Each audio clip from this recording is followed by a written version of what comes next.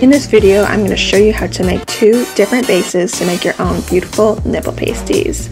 These are the two ways that have worked the best for me and are super cheap and easy to make yourself. This is the first in my nipple pasty series, so stay tuned to see how to make all of these designs. I'm Emily, I'm an artist. Here's a weird thing that I made. For our first option for our nipple pasty base, I'm using only two things, which are craft felt and a hot glue gun. And for the second option, I'm using a material called buckram, which you can get at most fabric stores. It's also traditionally used for hat making. Very cool. I'll be using this E6000 glue, kind of toxic, but does the trick real good. Also going to be using some clothespins, some school glue and paintbrushes, and a thick satiny fabric. Throughout the video, I will be using various citrus to represent nipples. First thing, you should measure your nipple to see what size of paste you need to make and always make the base at least one centimeter or a little bit larger than your actual nipple. The template that I use is six and a half centimeters wide, but one size does not fit all. I'm going to take my craft felt and cut out two circles according to my template you will see that my template is Pac-Man shaped and yours doesn't need to be but you will be needing to cut a slit from the exterior edge into the exact center so it can be helpful to know where the center is of your template. I'd also like to mention that instead of felt you could use craft foam, vinyl, or even leather, something that's going to hold the shape of the cone rigidly. I like felt because it's soft. I think that craft foam uh, maybe wouldn't last as long, and it's also very cheap. You can also see here that as soon as I put the felt into the cone shape, it does appear a little bit smaller. So that's why your template or the original circle that you cut out has to be bigger than your actual nipple. It's always better to start big and you can cut away the excess if you need to, but if it's too small, you won't be able to build it back up. Then I'm going to apply a thin strip of glue to the slit that I cut just as close to the, the edge of it as you can and then I'm going to fold it over on top of itself to create that cone shape. You can make it a little more flat or a little more pointy like Madonna, whatever you prefer. You're just going to hold it and pinch it in place until it's fully dry. You can then cut away any excess and then I sort of fold it inside out and cut away that little triangle piece that's left so it's nice, it sits nice and flush on your body. And you can see the finished product ready for decoration here. In an upcoming video, I'm going to show you how to turn this base into these beautiful sequin pasties.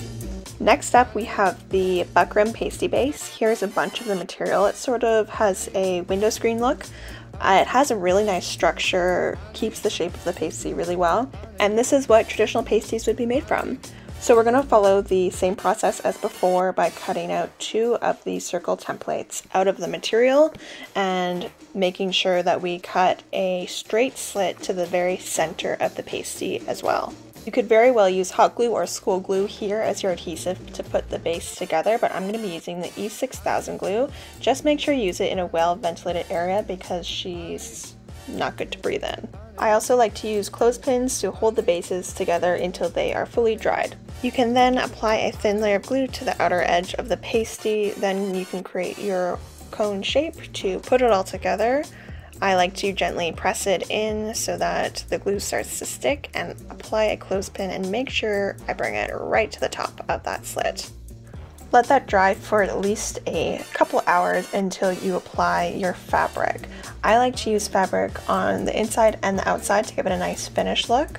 I also like to use something that is quite thick. A lot of the satiny fabrics can actually be quite thin and the glue will start to come through. So try and find one that's thicker and you will thank me. I'm cutting out two squares with a slit for the top of the pasty.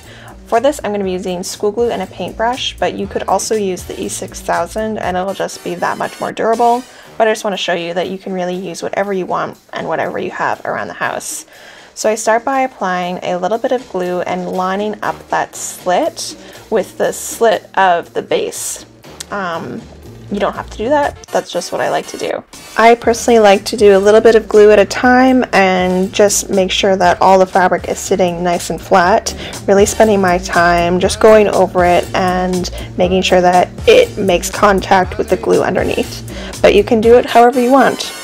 I also like to keep a cloth nearby for when it gets a little messy and to make sure that there's no glue on my fingers while I'm doing this. And when you make your way all around, you can cut off the excess fabric with some scissors. And then I like to take a little bit of extra glue and apply it to that inside edge of the slit that we just made to make sure that it's gonna sit down nice and properly. Let those dry, ideally overnight, and before you add the inside fabric, I like to trim it at this point so that I can use the base, the buckram base, as a guide to keep that perfect circle. And we're going to follow that same process with the inside, cutting out two squares with a slit and lining up that slit with the slit of the inside of the base before we apply the fabric to the rest of it. When you're done gluing the fabric, you can cut off the excess just like before, apply extra glue to the inside edge, put it down, let it dry, see you later.